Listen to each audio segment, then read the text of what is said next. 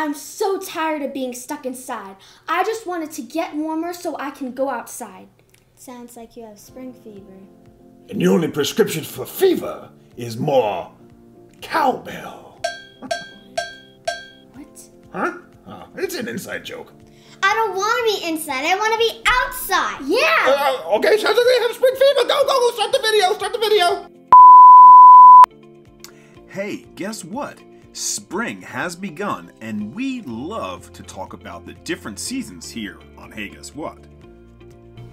Spring is one of the four seasons on our planet. In the four seasons are fall, winter, summer, and, you guessed it, spring. The three warmest months are during summer, the coldest months are winter, and the seasons in the middle, where it's a little warm but can also be a bit colder, are spring and autumn. And hey, guess what? Did you know that the word spring began in the early 14th century? Wow, that word's been around a long time. Something else that happens around springtime is daylight saving time, or spring forward, which happens in March just before spring. Oh, and by the way, we actually did a video on daylight saving time. We'll link it in the description below. As you may know, spring is the season between winter and summer and is a symbol of rebirth. Many flowering plants start to bloom during the spring, and they usually start when snow may still be on the ground and they continue growing all the way into the beginning of summer. You will see quite a few rain showers during spring, especially in April. And then in May, the flowers will start to bloom more and more. And this is why you may have heard the popular saying, April showers bring May flowers. And some of the most common flowers in spring are lilacs, irises, tulips, daffodils, lilies, and dandelions. And you may also see trees and shrubs or bushes that have flowers that start to grow on them too. A lot of holidays happen during the spring. That's right, Quinn.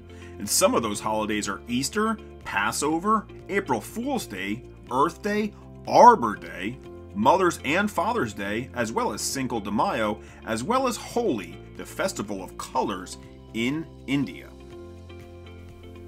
During early spring, the axis of the Earth increases on its tilt to the sun. And this causes the length of daylight from the sun to increase for each hemisphere. And there are two hemispheres the northern hemisphere and the southern hemisphere. The northern hemisphere is north of the equator. The southern hemisphere is south of the equator. Wow! Genius!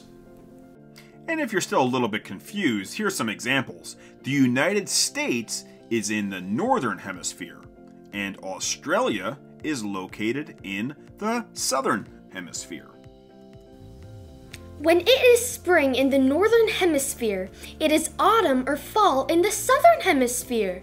So that means, like, when it's warm for us, it's cold for them? Yes, Are you sure? yes. Okay. For example, in Australia, spring occurs during the months of September, October, and November, which is the opposite here in the United States. During that time, it's the fall for us. And each hemisphere starts to warm up a lot. And this starts producing new plant growth to spring forth, giving the season its name. And any remaining snow begins to melt, which adds water to streams with its runoff. In warmer climates that don't have snow, you'll notice that air and ground temperatures rise much faster. And on the very first day of spring, which is usually March 21st or March 22nd, the hours of daylight and night are almost equal, about 12 hours apart. Actually, it's just the daylight that's just a little bit longer. The first day of spring is called the vernal equinox. And the word vernal is Latin for spring, and equinox is Latin for equal days. And this also occurs during the autumnal equinox in the fall, which happens around September 22nd. And the vernal equinox happens when the angle of the Earth's axis is not facing towards or away from the sun. And daytime length begins to last longer as nighttime gets shorter as the season progresses. Hey, guess what? On the day of the vernal equinox, the sun is directly above the equator. And believe it or not, jet streams play a very important role during winter, which can cause very cold days and even storms. But they are even more critical during the spring in the northern hemisphere. And these jet streams are what causes unstable and often unpredictable weather patterns during the spring. And the unstable spring weather can happen often because warm air starts to move in from lower latitudes, as colder air still pushes its way from cold polar regions. Another thing that this can cause and make people worry about is flooding. And this is actually more common near mountainous areas because of the large amount of snow that melts, as well as the additional rain that happens during springtime. In the United States, the area known as Tornado Alley is the most active during spring. And this is because the Rocky Mountains block these rising hot and cold air masses from moving further to the east. This then makes both of these large air masses have to fight each other. That causes intense storms. It's not just tornadoes or huge supercell thunderstorms that can happen either.